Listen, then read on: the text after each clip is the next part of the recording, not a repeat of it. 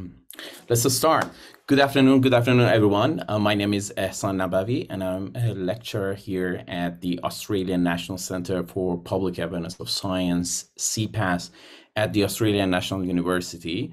It's my pleasure to welcome you all here this afternoon uh, for our Responsible Innovator Lecture Series. Welcome.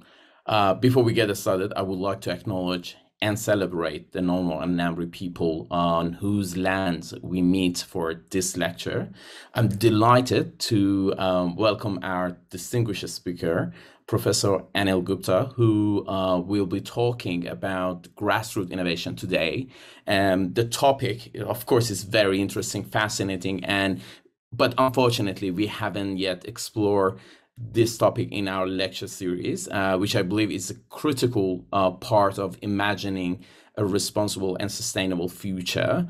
Um, there is always um, this great potential in um, our local and indigenous communities, um, or generally speaking, the marginalized communities uh, and sections in our societies that are often undervalued or underexplored um, when we think about the future. And so, how we could use this energy, um, how could we use this power, uh, is the question uh, that is worth exploring. And today, uh, we have this great opportunity uh, to learn about grassroots innovation from Professor Anil Gupta, who has worked um, with, with, on this topic with his colleagues um, in the Honeybee Network for more than 35 years uh, to bring change in this domain. Um, so Professor Anil Gupta is a founder uh, of the Honeybee Network. He retired as a full pro- full-time professor at the Indian Institute of Management, Ahmedabad, in 2017, where he served for more than 36 years he held an executive uh, vice chair at the National Innovation Foundation. He's also a fellow of the World Academy of Art and Science. Um, before I hand over to Anil, um, as always, um, a couple of housekeeping items. First of all, this lecture will be recorded and the recording will be available on Responsible Innovation Lab uh, website. It is um, innovateresponsibly.org. Uh, so if you want to um, watch the previous recordings, you can go and watch the previous recordings. Um, and um, if you want to share it with your network and colleagues, please do it uh, after this uh, talk. There is an opportunity, like always, for Q&A session. Um, so if you have any question from Anil, please uh, type your question using the chat box. Um, and when it comes to Q&A session, of course, you can unmute yourself and ask your question. Okay, without further ado, I want to um, hand over to you, Anil, um, so you can share your screen and uh, talk about um, the grassroots innovation.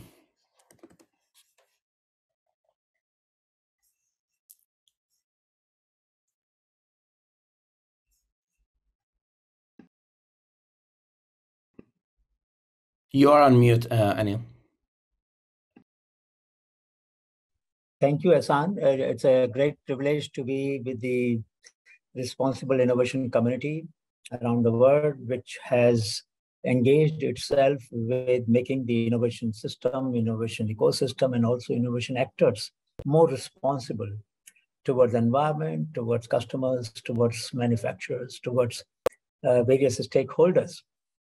But one of the critical stakeholder who has remained, to my mind, less discussed in the literature and in the arguments on making this, the innovation system responsible are the innovators themselves. And it is for some strange reason that we have liked, we have wanted the corporations to become responsible. But when you look at the products which are there on the shelf, you hardly find a product which will highlight, acknowledge, or showcase the inventor of that product or inventors of that product on the label of that product. Now, what do you lose by doing that? You gain something. You gain something by saying that, look, we celebrate creativity. And I will spend a few minutes today about David Unaipon's story from Australia, which I learned many years ago when I came for a meeting to Australia uh, on the indigenous communities and how they can develop their own intellectual property rights systems. And at that time, when in, during the tea session, somebody, an native colleague informed to me about the examples of outstanding achievers, his name came on the top. And yet, as we will see today, uh, there are uh, there are still uh, uh, black spots when it comes to our memory of innovations because uh, when I was going through a film on the net today morning, I found a lot of comments by Australians saying, oh, it's shame that I didn't know about him. It is shame that I was not taught about him in my school. It is shame that it is taking me so long to discover his contribution. So it seems that this problem of ignoring the creative people and achievers of our own society is not just restricted to a developing country, it is universal. And I will show many examples as to how your network, I mean, and I consider myself as a part of this network now.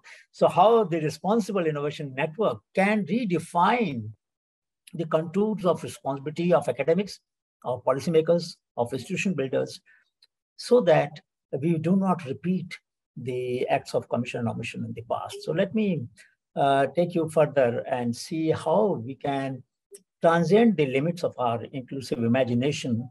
And in inclusivity, I will talk about inclusivity of gender, inclusivity of environment, inclusivity of remoteness, the regions which are bypassed, inclusivity of identities, the indigenous people, uh, the blacks and many other minorities who have uh, somehow not received their due, and how can then we reciprocate? So that's my concern today, and I will show you that by changing the context of the current uh, dialogue on the subject of responsible innovations, we can make it more rich and bring more uh, density in our discourse. So this is the Honeybee network. As you can see on the logo, a nameless, faceless person comes in contact with the network and gets an identity. That's what Honeybee Network stands for. It gives voice visibility and velocity, voice, visibility, and velocity to the creative and innovative people, both in formal and informal sector. We try that our society becomes more conscious of the contribution that creative people make and become more responsible in uh, appreciating their contribution. And how do we do that? The first, of course, goal is that we should recognize, respect, and reward learning from common people. There, there can be different instruments. And the first instrument is let us acknowledge the contribution of these creative people in our work. And when we acknowledge that, we should also make sure that we do not ex extract rent from this knowledge. Instead, we share. We not only acknowledge and attribute, but we also share the benefits with the local communities in a fair and just manner. We should share the findings of our research in local language and easily understandable manner. And we should connect creative people among themselves because we get connected globally, but many times the people remain isolated. Now, when it comes to uh, acknowledging, you know, many times the guides of the PhD students would give a certificate saying all acknowledgements due have been made. But people still remain anonymous. They become people somewhere nameless, faceless. And I think it is this practice must change. The rule should be attribute and acknowledge unless requested otherwise. Today, the rule is make them anonymous, don't acknowledge them, mask their identity as if once they are known, some great harm will occur to them. If they want not to be known, that's their wish. But we must follow the default rule. All science and research councils of the country or the world must make change the rules of engagement with the communities in this regard. It should become obligatory that when we collect data from the people, they must get back not only the findings of our research, but also what have we done with the data? What have we used it for? Did we generate any consultancy or per diem or honorarium out of it? And if, if so, did, it, did we share a part of it? With those whose knowledge made us rich or made us privileged. Now, these are not very difficult to follow principles. But yes, these have not yet become part of the responsible innovation system, but hopefully they will. Hopefully they will. And we are hoping that we will be able to encourage our colleagues to pursue what we call as learning walks. Now, there are four teachers from whom we learn during this walk when we scout grassroots innovations. And uh, we will, I'll give you some examples, but more importantly, the solutions that people have developed on their own. So there are four teachers from whom we learn uh, every summer, every winter, and also in autumn. Uh, teacher within, the one which is inside us, which asks all kinds of difficult questions.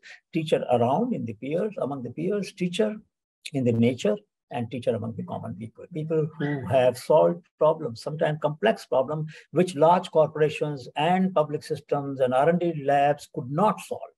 And there are a large number of such examples. Herbal pesticides, veterinary medicine, machines, using, uh, I will give you example, using windmill for pumping water to irrigate the field, irrigate the paddy field. And when you look at why would somebody use a bamboo windmill to use to pump water? Because that farmer, Mehtar Hussain and Mushtaq Ahmed from Assam, northeast of our country, realized two things that we scientists ignore. One, that it is not important whether you irrigate the field in four hours or 40 hours. In fact, slow irrigation is more sustainable. Plants need moisture, not water, for absorbing, for uh, uptaking the nutrients. So there's no rush to irrigate. Why use high horsepower motor, which many poor people can't afford even, and then irrigate it fast? There will be more leaching of nutrients. Second, because hand pump is a single valve system, so there'll be water will coming in spurts. It doesn't matter whether you have uniform flow or uh, interrupted flow or, or in spurts. So therefore, the principle that emerges from this example of using windmill to run hand pump can be used even in the industrial plants. We sometimes uh, assume that a smoother flow in a boiler, industrial boiler, is better than the flow which is in, which is in spurts. And we don't know, we have not done an experiment. We have just assumed that. It is possible that the efficiency of the chemical reaction might go up if we were to do that differently. So there are lessons that we learn. And there are four levels at which these innovations are diffused, artifactual, analogic or metaphorical, heuristic, and gestalt. And just to mention that, uh, just to mention one dimension of the four, that many times we don't have to diffuse an innovation from one country to another. We can sometimes diffuse the principles underlying it, the thumb rules underlying it, which may have much wider application. So one of the first principles that emerges from what we're discussing now is that we should reciprocate the generosity of knowledge providers to keep the river of ideas flowing. It will motivate more people and more sharing will take place. Now let's go to the next lesson. This is a very interesting way of uh, recalling the legacy that we have inherited. You know, this is a painting made by our ancestors some 35 to 40,000 years ago. This is from Bhimbetka, which is about 30,000 years ago, Central India.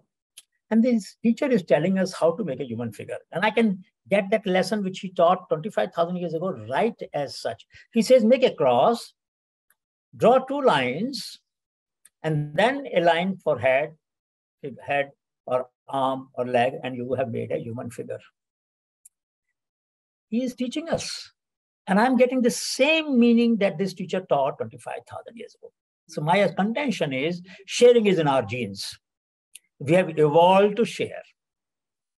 And we must therefore I often tell my students sometimes uh, that they should monitor the download to upload ratio.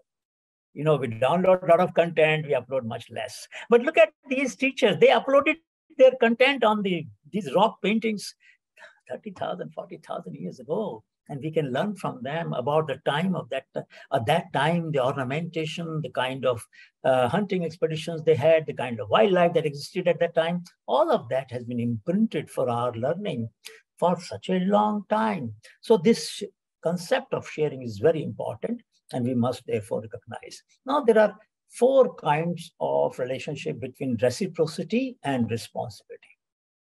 And this is very critical for us to go further as far as the theoretical discussion is concerned. So you can have high reciprocity, low responsibility. So let's say we have made our databases, large number of databases, and some of these have open source content. All of these are open source, no password required. But we may not have experimentally validated each practice. Similarly, people who shared the knowledge may have not used all the practices themselves. So therefore, reciprocity is high. We are sharing very much, but we are not taking responsibility that every information is exact and accurate. We are saying this is best to our knowledge. If it triggers imagination, your imagination, and you can then develop some more solutions, please do that. Second is high reciprocity and high responsibility, which is an ideal case where we take the voucher, the accuracy and, and reliability and validity of every information that we are providing. And so also the people tell us that, look, these are the conditions under which you should perform this. So I was in a committee of uh, uh, National Academy of uh, Sciences and uh, National Health Institute of US, which was we're having a program on biodiversity conservation through drug discovery. And there was a, a, partnership between companies, academic institutions. So Walter Reed Army Malarial Research Institute scientists were there. Uh, Maurice Iwu from Nigeria was there. And there were several teams and we were a review committee. So I was asking whether there are cases when healer told you some practice and you found it didn't work. They said, yes, it happened once. I said, what happened? Why? How did you figure out? So we went to the healer. He said, look, you, this is the plant I use for this kind of fever. Why don't you to go and give it? And we tried and tried and tried and it didn't show results. So finally we went to him and exasperated and said, look, it doesn't work. He said, no, how do you give the medicine? He said, we give it by injection. He said, I don't give it by injection. I give it orally. Go back and go give it orally. In other words, sometimes the responsibility is also towards the process, not just product, product, process, purpose, and the way it is performing the results. Performance is not an outcome of just the ingredient, it is also an outcome of the sequence of the process. Like any, any formulation, we have to follow the same scientific accuracy in being responsibly evaluating its efficacy and not using wrong process to evaluate a right practice and blame them that look it doesn't work so reciprocity is in respecting the protocols that communities have developed and testing them through that protocol first and then you modify the protocol if you wish to for making it more effective. Low reciprocity and high responsibility. Now this is a case where many academics very responsible towards their domain toward their profession but if you ask them did you ask your student to share the findings with the people from whom they collected data and they will then look at left and right and say well we didn't really do that. We were in rush. Why why should that time be saved which is of reciprocity? Other steps all other thing four years a student spends for doing thesis but wouldn't spend 40 hours for sharing. How is that fair? How is that right?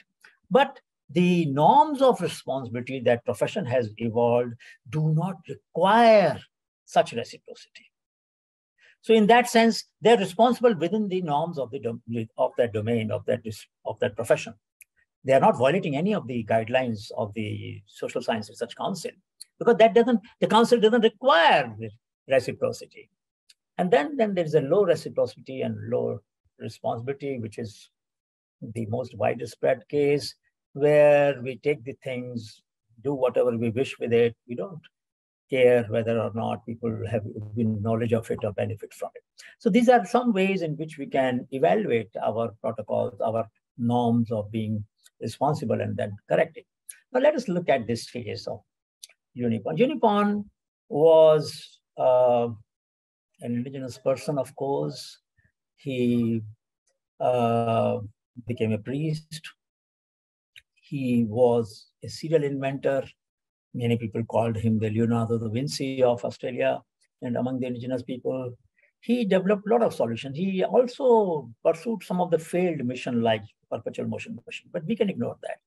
But the beauty is as you saw on the first slide when I had begun, I had shown the machine that he made, a straight line reciprocal movement by which the shearing of sheep could become possible. And that changed the destiny of Australia.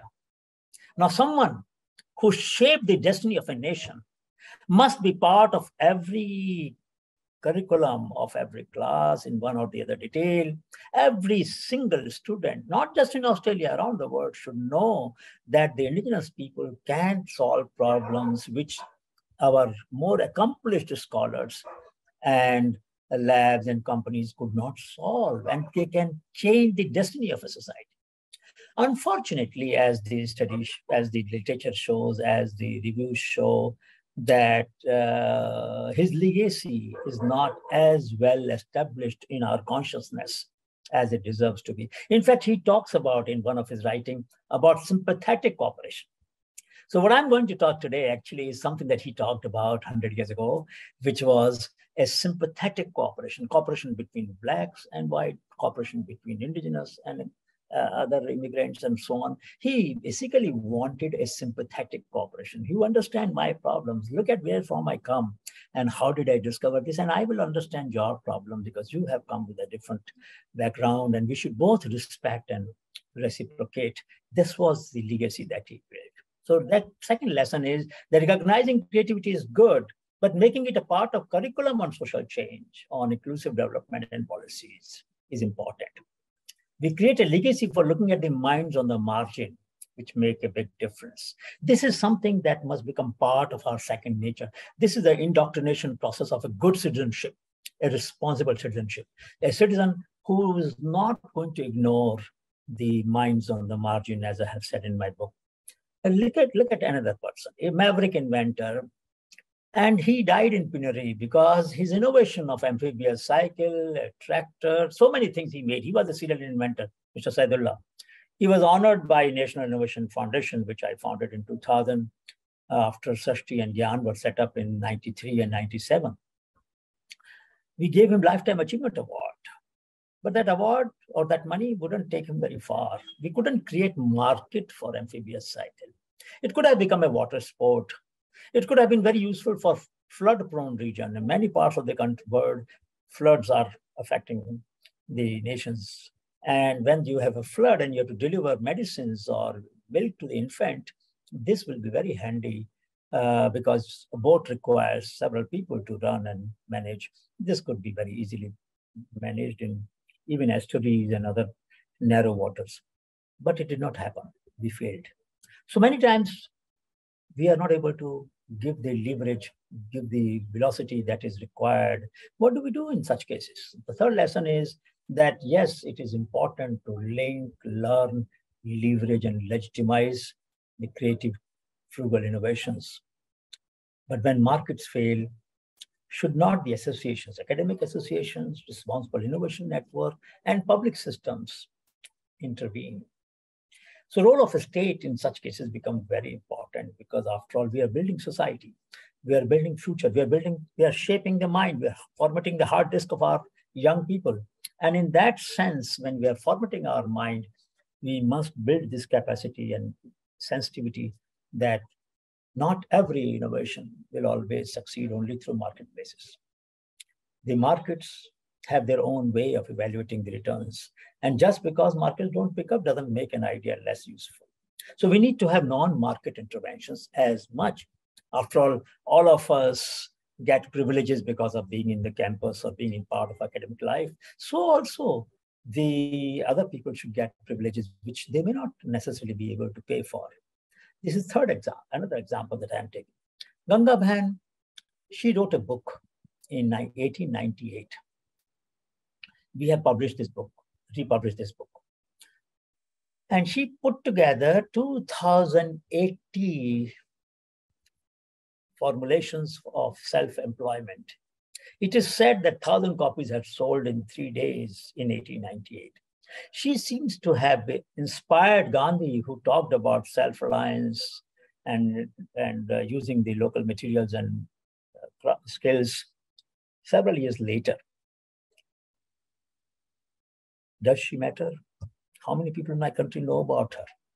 when the current prime minister and he was at that time chief minister, we shared with him this story. He did set up a award, but that award is still to be rejuvenated. It has been lying dormant.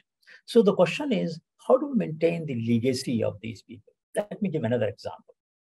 I don't know if anybody on the talk today knows the author of the book, Mothers and Daughters of Invention. Hassan, do you know? And I doubt if anybody knows, you know?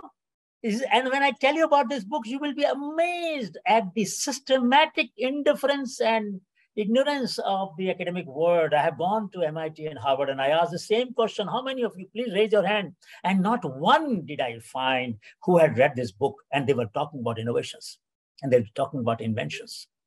Look at this. Autumn Stanley. She wrote this book, 1995, Mothers and Daughters of Invention notes for a revised history of technology. And she writes about how the husband, the father, and the other males took the credit for the inventions that their spouses, their daughters, or their sisters made. Systematically record them. She looks at the data of 200 years of USPTO, US Patent and Trademark Office, 200 year data. She spent 13 years of her life in analyzing that data. And what did she found? What did she find? She found that till 19, 1809 to 1985, the share of women was 1%. In the Mecca of Innovation, USA. And later it became 4 to 8% by different estimates. What are we talking about? Such neglect. And then this book is ignored and doesn't become a compulsory reading for every student of innovation everywhere in the world. It should be a compulsory reading to show that the women can solve very complex problems.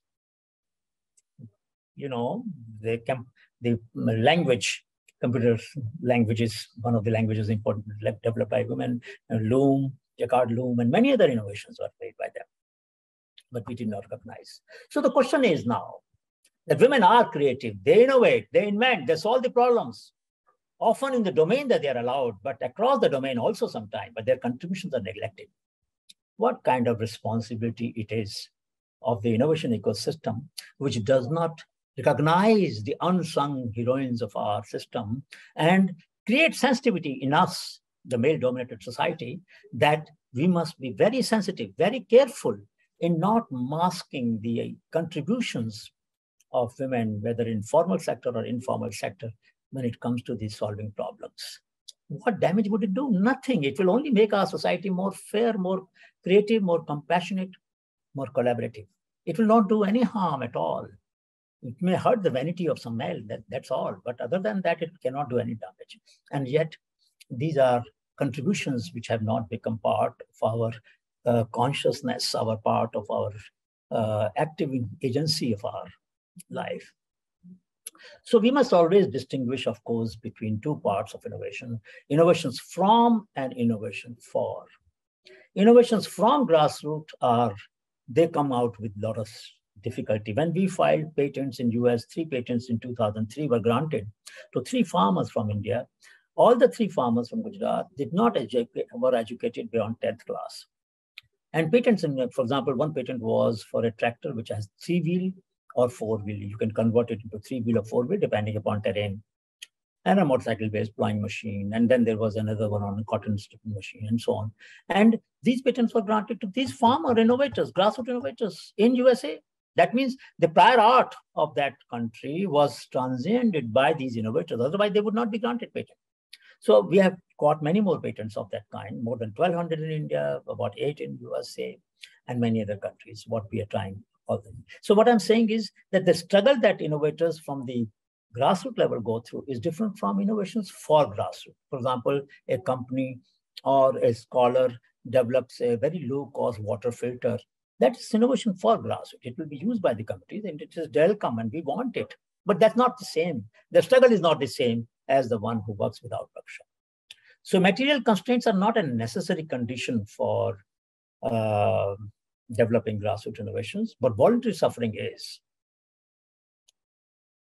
You may not be suffering from material constraint, but if you do not suffer voluntarily the pain, the people who are suffering from that problem, your mind may not be trained to solve problems empathetically. So frugal solutions require us to suffer voluntarily about the problem. I would like to share now a responsible innovation playground. And there are two dimensions, basically, inside out and outside in. The inside out is, do I want to share my ideas, my knowledge, my toolbox with outsiders? Outside in is, do I want to learn from others? Are there things that I want to learn and absorb in my own uh, value chain or my experiments or my innovation pursuits. When both are low, I'm behaving like an ostrich. I don't want to learn. I don't want to share. Doomed. Such, you know, the Facit machine which I used when I was doing my research uh, 30 years ago, 40 years ago, you had to use a calculator and, you know, Facit was the leader of the calculators at that time. There were no electronic calculators. For one simultaneous equation, we had to spend a whole night in solving that by moving one by one digit and then optimizing the solution. It disappeared because it didn't learn enough from the market and it didn't notice what was writing on what was emerging in the society. But then that's another interesting case of low inside out but high outside it. P&G, for example, had hardly 10% of its patent being used when they were realizing that, look, our R&D system is not working well. So they started crowdsourcing. And their efficiency went to 50%, their stock prices went up. The almost 40 to 45% of the products had ideas coming outside the company. All these changes took place. But there was one reciprocity missing. So if you charge, let's say you say you give $10,000 for an idea, fine, I have received 10,000 for my idea. Our transaction is over. At least tell me that you made 10 million out of it. I'm not asking you for more money. I'm asking you for feedback so that I become more conscious of the worth of my own ideas.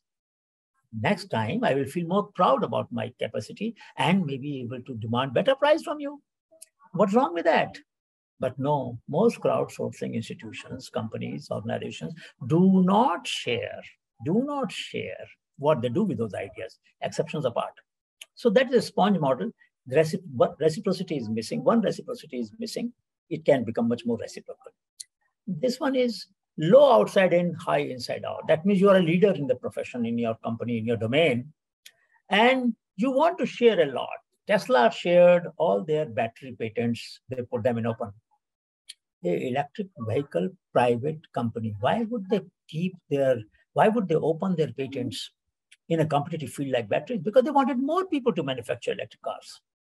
So the charging stations can be installed not just for Tesla, but for other manufacturers also. So you expand the market. And since you're a leader, you will be always ahead. You can always develop better solutions and so on and so forth. So now these are pollinators, people who are leaders and create example, can create benchmarks of sharing. They don't care whether they're getting back enough or what they what what other people will like to take as a price or as a reciprocal behavior. So it's a asymmetric reciprocity. You share but don't care for whether others reciprocate or not. And that only the people with the rich heart can do. But if there's both are high, if both are high, that means I want to learn a lot and I want to share a lot. This is what Honey Bee Network does. We have put together recently, for instance, 1 million abundant US patents in an open database, gian.org slash patent. Open database. Anybody can access them. 1 million abundant patents because every small entrepreneur, every inventor can use this as a building block and benefit from these. They should, of course, acknowledge them. That's the moral right of the inventor. But the knowledge is now open domain because the person has not renewed those patents. That's the main reason for abandonment.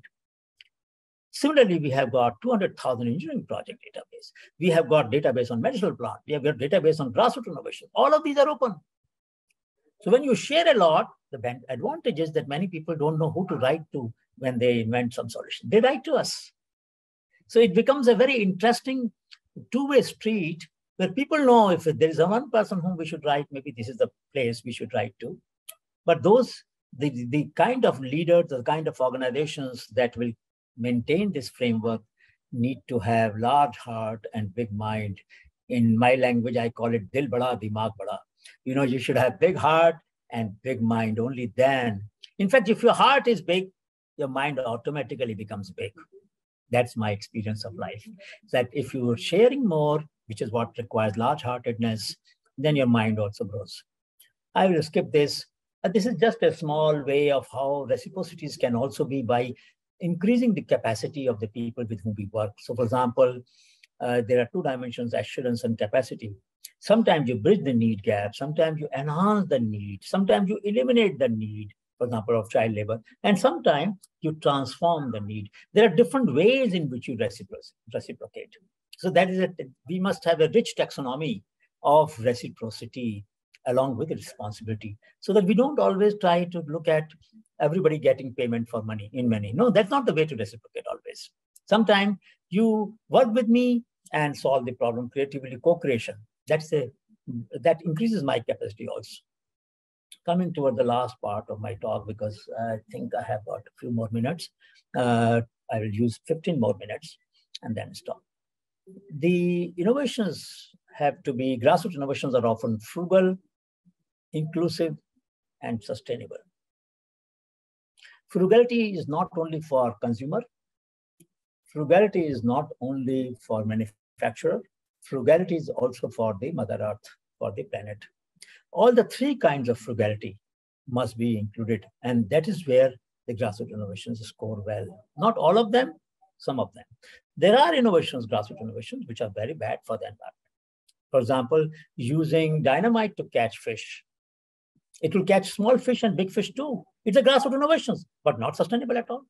So I'm not arguing that all grassroots innovations are green or sustainable. No, most are, but not all. So we will have to be eclectic about this. We should be very judicious about it.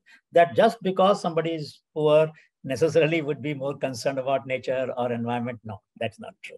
Sometimes people can cut corners, they can take shortcuts, they can use things which are not sustainable. And I gave example of dynamite. There are many other cases of this kind. There are uh, which which lead to small fish and big fish being captured together, and therefore the dynamics of the fish will go down, and therefore the sustainability will be affected. So we must, of course, recognize that accessibility, affordability, and availability, all the three are important. It is in the availability domain that grassroots innovations suffer because they make only small scale production, they are looking at local needs, they do not have the logistical support, they do not have the supply chain support, and most importantly, they do not have the venture, micro venture fund. You know, microfinance has become very popular. Microfinance is for goods and services for which market exists. Micro venture finance is for goods and services for which market does not yet exist. But there is no micro venture finance anywhere. In our country, we tried but this experiment is not succeeding so far.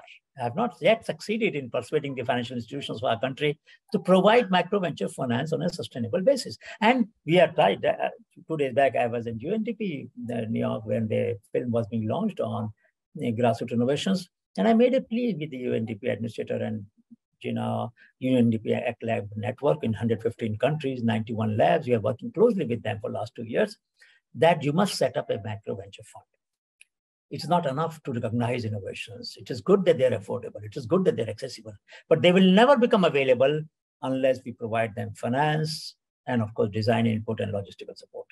So it's very important that solutions should be available for people who want to use them easily, and that will require supply chain management. Now, when it comes to inclusivity, I will not go much more into that, but enough to mention that inclusivity of spaces the by the we, we are having uh, some activities in northeast of our country, which is bypassed by the market and state, Jammu Kashmir, and many other regions of our country, which may not have as developed as much as other regions have developed. So, spatial inclusion, sectoral inclusion, handloom. The, I'm wearing a handloom kurta now. Many times, this cloth, the weavers of this cloth have not had much input from designers or from uh, financial institutions, so they remain poor and their uh, technological change has not taken place much. The productivity is low. So some sectors have been bypassed, some seasons, flood, drought, uh, social segments there are there, and indigenous people, local communities, black, scheduled caste and scheduled tribe people in our country have been bypassed. uh, skills and knowledge of certain kind has been bypassed. And sometimes the rules of governance are such that they built in exclusion by definition, by the, the way rules are designed, they lead to exclusion. So GIAN, which was set up in 97 as the first incubator of grassroots innovations to my mind in the world, tries to link these three, innovation, investment, enterprise. And I would invite all the members of Responsible Innovation Network to join us in this effort to uh, see how we can make this triangle possible, not just locally and regionally, but globally. So innovation from India finds an investor in Australia and sets up an enterprise in Namibia. That is what a global outreach of this triangle be, that not all the three actors need to be in one country. This is one small example where a herbal cream was made by our lab, six different innovators. All of them were invited by the company when it was launched, and they get royalty. For 20 years, they will continue to get royalty from the uh, company which use this their pool their knowledge and develop this herbal cream for skin. So there are examples. For example, one child gave an example. Why should there be not a fourth traffic light? Now, if you ask yourself, why should there be fourth light? Nobody has thought about it. But many of us who suffer traffic jams know that if there was a blue light on, we will either take a left turn, right turn, or U-turn, but not go forward because we are going to waste one hour. Now, imagine if this creative idea is used by the traffic managers all over the world, it will make the life of the commuters more easy. And a, person from a remote place would have influenced the traffic system of the world. That is the power. Can we borrow the charge from your phone? And many times, many times we have that low battery and we haven't thought about, and these kids thought about this. We met them in a Shodhyatra. Why can't we borrow credit charge from this? This walker, you know, walkers don't work on the steps, but this girl, she was at that time in eighth class, Shalini, suggested that when you come down, the walk front leg become taller. When you go up, they become shorter. Our National Innovation Foundation made it uh, into a product licensed to a company and now it's available in the marketplace. So learning, leveraging, linking, and legitimizing, all the four steps are important in reciprocal and responsible innovation system. I will not take more time just to tell you that Gandhiji in 20, 1929 gave a call when he found that from 20 to 29, he failed in modifying the design of the spinning wheel. He announced a competition with 7,700 pounds, 1 lakh rupees. Now it must be billions of dollars worth of money. And he got this design by 1931 when he went to jail. In Wardha, he was using this spinning wheel, foldable, transportable, easy to manage, easy to maintain. So crowdsourcing was done as long back as 1929. And of course, there are many examples in Europe even before that. So the point is, this is a responsible innovation because he made a condition that if you want award money, you have to make your design open source. That was the condition listed there in the announcement. So sometimes challenge awards can be very powerful way of overcoming inertia in our society. This is the global competition that we have. The last date is September 30th, HBN Kriya. And we found some wonderful innovations last year a device which will scan the mosquitoes and tell you whether it is harmful mosquito or it is a non-harmful one so that you don't have to use pesticide to kill all mosquitoes. There's no need to. You can only kill those which are harmful. Why do you do that? This was the book where I argued that minds on the margin are not marginal minds. That is our appeal to all of you. Finally, a change not monitored is a change not desired. I have said this from early 80s because if you really want responsible innovation system to be reciprocal also in the process then ask look for those examples where we have faltered where we have missed and let us try to make them good make them compensate for the acts of omission and commission in the past and be more responsible in future finally be a bee honey bee which cross pollinates and flowers don't complain when their nectar is taken away, they invite them.